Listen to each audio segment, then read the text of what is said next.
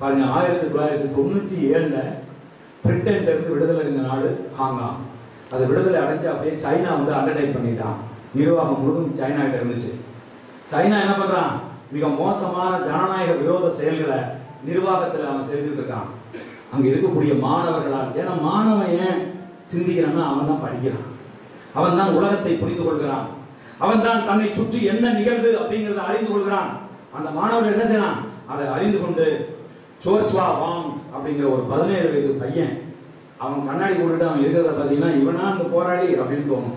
அந்த பையன் ரோட்டுக்கு வர்றான். நள்ளிரவிலே அந்த நாட்டிலே ஹாங்காங்கிலே இருக்கக்கூடிய லட்சக்கணக்கான மாணவர்களை ரோட்ல கொண்டாந்து நிறுத்துறான். சைனா என்கின்ற அந்த அரசினுடைய அரச படை நட்டு நட்டுங்கிற அளவுக்கு மாணவர்களை ஒருங்கிணைத்தோடு நிற்கிறான். அதுதான் நம்ம ஆளுங்க சொன்னாங்க கூட்டு உணர்வு கூட்ட உணர்வு அப்படின்னா கூட்டு கூட்ட உணர்வுனா மாஸ் சைக்காலஜி நம்ம ஐயா சொன்னார்ல கட் அவுட்ல ஏறி நின்றுட்டு பால் ஊத்துறாங்க. அது வந்து மாஸ் சைக்காலஜி ஏ அப்படின்னு கத்துறது. பை அப்படின்னு விசில் அடிக்கிறது. இதெல்லாம் வந்து மாஸ் சைக்காலஜி இண்டிவிஜுவல் இண்டிவிஜுவலா கூட்டு காத்தீங்கன்னா அவன் பாவமா இருப்பான். நடு நடிக்கிறான் பயந்துருவான். ஆனா கூட்டம் வந்தா கத்துவான் அடிக்க வருவான் எல்லாம் செய்வான். இது மாஸ் சைக்காலஜி கூட்ட உணர்வு இல்ல கூட்டுணர்வு. கூட்டுணர்வு இருக்கணும். கூட்டுணர்வு நம்ம சொன்னா வள்ளுவர் சொன்னாரு கூற்று உடன்று மேல்வரினும் கூடி எதிர்க்கும் ஆற்றல் அதுவே படை அப்படின்னா யாரு? நம்முடைய முப்பாட்டன் வள்ளுவர் சொன்னார். கூற்று உடன்று மேல்வரினும் யமன் எதிர்த்து போர் கொடுத்து உனக்கு முன்னாடி வந்தால் கூட கூடி எதிர்க்கின்ற ஆற்றல் எல்லாரும் ஒருங்கிணைஞ்சு நின்று எதிர்க்கின்ற ஆற்றல் இருக்குவாரு அந்த ஆற்றல் தான் படை. அதை யாரும் வெல்ல முடியாது என்று நம்முடைய வள்ளுவன் சொன்னான் அது மாதிரி கூடி எதிர்த்து நின்றார்கள் அன்பு நண்பர்களை. கூடி எதிர்த்து நின்றால் எதையும் வெற்றி கொள்ளலாம் ஒரு வரலாற்றுல ஒரு நிகழ்வு சொல்றேன். ஒரு சின்ன பையன் அமெரிக்காவில் பேப்பர் கொடுக்குற பையன் அவன் தந்தை செருப்பு தைக்கிற தொழிலாளி. அந்த பையன் பள்ளிக்கூடத்துக்கு போறது கூட வழி இல்லாதவன். சாயந்தரம் பள்ளிக்கூடத்துல இருந்து வந்து பேப்பர் பொறுக்கிட்டு வருவான். அப்படி ஒரு நாள் பேப்பர் பொறுக்கிட்டு இருக்கும்போது ஒரு பேப்பர்ல வந்து ஒரு புகைப்படம் இருந்தது.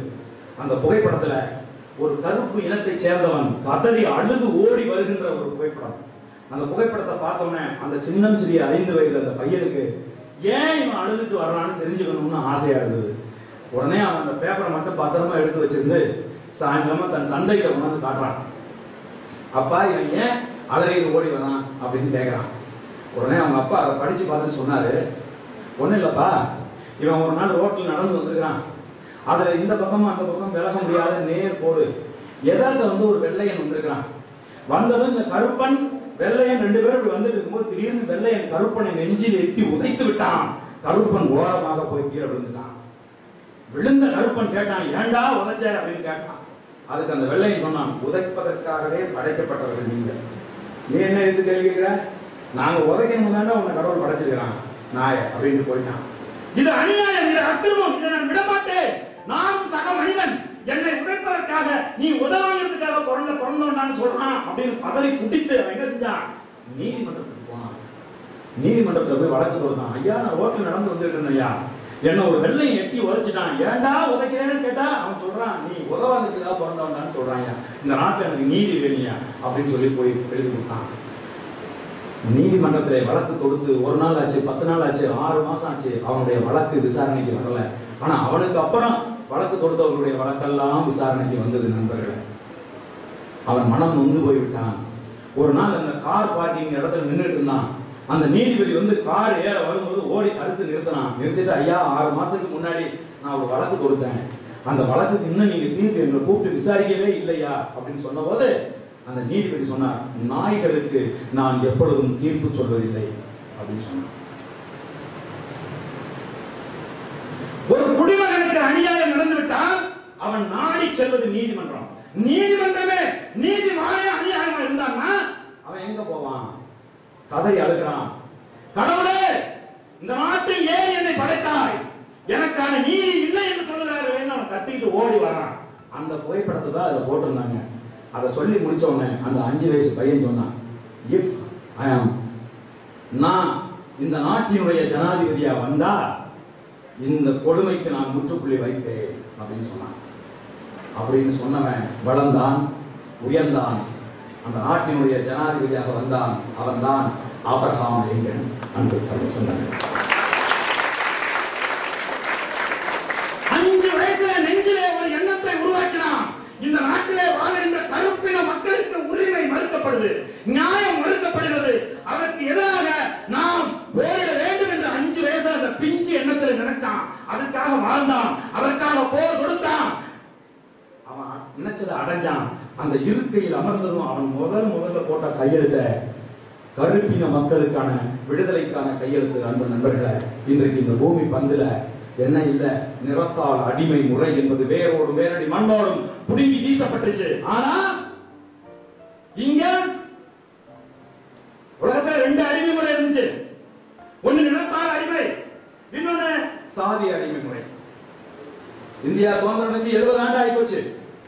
எழுபது ஆண்டுகளில் சாதிய அடிமை முறையின் வேர்வை கூட ஒரு சின்ன அசைவை எவனாலும் ஏற்படுத்த முடியல ஏற்படுத்த விரும்பல.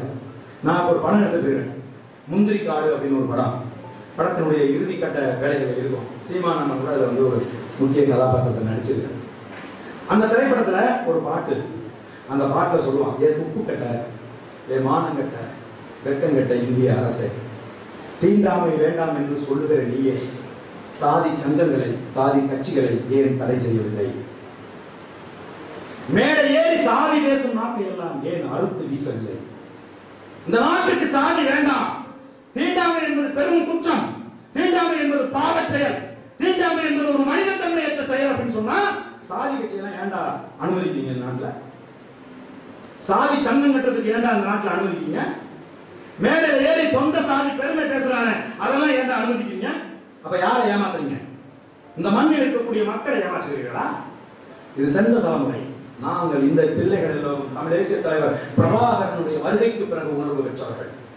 இவங்களை ஏமாற்ற முடியாது. எங்களை ஏமாற்ற முடியாது என்கின்ற சிந்தனையோடு தான் நாங்கள் அந்த சாதியத்துக்கு எதிரான சிந்தனையை கொண்டு வருகிறோம் அன்பு நண்பர்களை. ஐந்து வயதுல ஒரு பையன் ஏற்றிய சபலத்தை அவன் நிறைவேற்றிருக்கான் அப்படின்னு சொன்னா இந்த மண்ணில் எல்லாமும் முடியும் அன்பு நண்பர்களே. முடியாததுன்னு ஒண்ணுமே கிடையாது. நம்முடைய உணர்வும் நம்முடைய சிந்தனையும் நம்முடைய செயல்பாடும் ஒரே நேர்கோட்டில் பயணம் செஞ்சுச்சுன்னா நம்மளால் வெல்ல முடியாது என்கின்ற சிந்தனைக்கே வந்து இடம் கிடையாது அன்பு நண்பர்களே. இந்தியா முழுதும் இருக்கக்கூடிய தேசிய இனங்கள் இப்ப நீங்க அமெரிக்காவில் பாத்தீங்கன்னா ஐம்பது தேசிய இனங்கள் வாழ்றாங்க.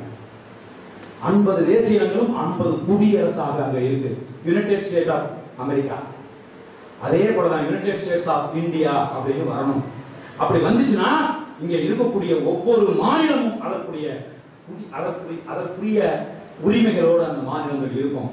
பக்கத்திலே இருக்கக்கூடிய தமிழ் மீனவர்களை சிங்களவன் சுட்டு கொன்னா அதை தடுத்து நிறுத்துகின்ற படை வலிமையோ உரிமையோ நமக்கு கிடையாது.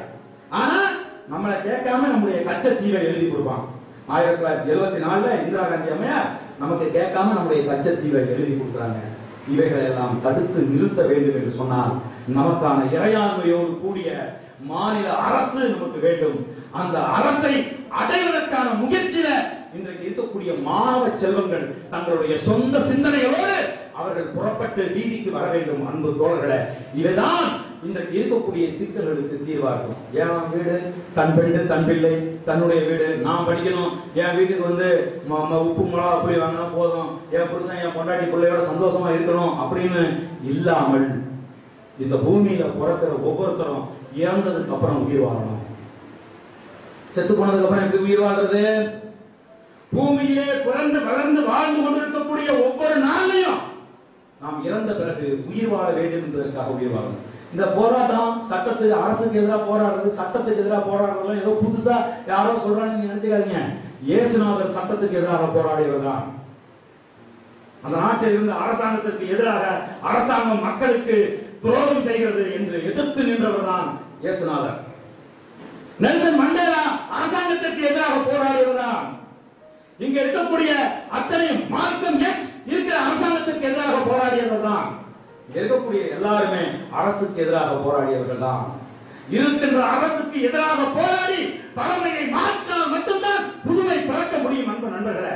ஆகவே நாம் நமது இன உணர்வை பெற்று நமக்கு எதிராக செயல்பட்டுக் கொண்டிருக்கக்கூடிய இந்திய அரசாங்கத்துக்கு எதிராக போராடி நம் இனத்துக்கான உரிமையை மீட்டெடுக்க வேண்டும் என்று அதுக்கு நீங்க துப்பாக்கி தூக்கணுமா அப்படின்னு கேட்டீங்கன்னா தேவையில்லை.